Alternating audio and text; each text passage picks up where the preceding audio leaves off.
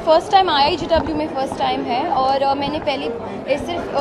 I walk only once before this तो this was my second time तो nervous uh, थी uh, क्योंकि it's basically the jewellery is doing all the talking and आपका your job is to show off the jewellery and not mess up that situation तो मैं बहुत nervous थी but obviously once I was on the ramp I felt the confidence and I felt the energy और the room energy was very positive so it was great I a of fun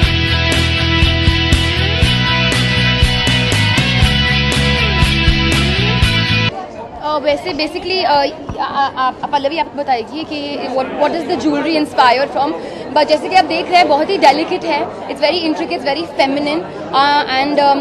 ये जो collection है changing it's it means flower और it's jasmine जैसे अगर अगर अपने show देखा तो there were jasmine on the ramp and there were jasmine following so it's kind of inspired from that इसलिए the clothes are kept very minimal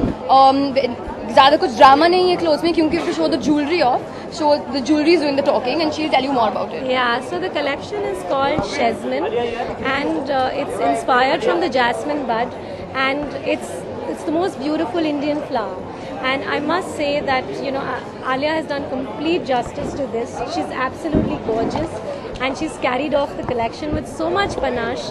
so beautifully. I'm really happy to see my collection, you know, being shown uh, this way, just the way I had in mind. And uh, if you saw on the ramp, we had various pieces, uh, including a body piece that was done, uh, which has been worn by Alicia Rawat. Uh, that's a body piece, and it goes all around the body. Um, yeah, so the collection is completely Indian styled differently. That's what the collection is all about.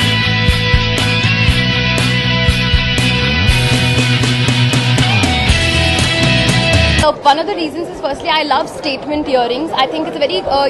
this is a contem contemporary way of wearing jewelry. ज़्यादातर लोग क्या करते हैं कि सिर्फ़ शादी के दिन पे या you know very very heavy Indian occasions they wear these kind of very um, very bold and very beautiful and delicate jewelry. Uh, they kept for keep for very special occasions, but I have done it in a very contemporary way. Uh, ऐसे कर सकते हैं you can wear on a day to day basis as well if you're going for a dinner or if you're going for किसी के birthday party पे जा रहे हो तो um,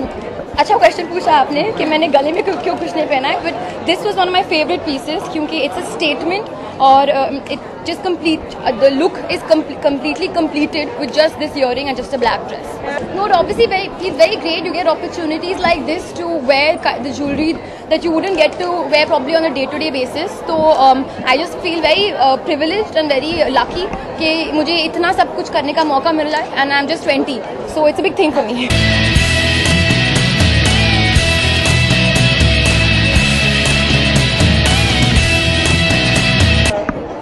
question answer करूँगी मूवी पे। बट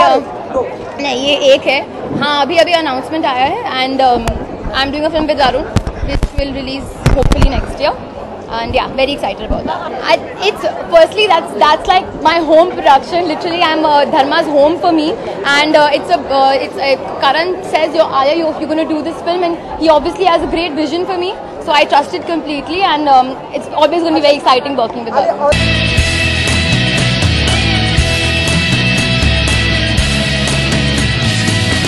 अभी मैं 20 साल की हूँ यार। बहुत साल बहुत साल है। बहुत साल है। अभी अभी शादी नहीं करनी है। Thank you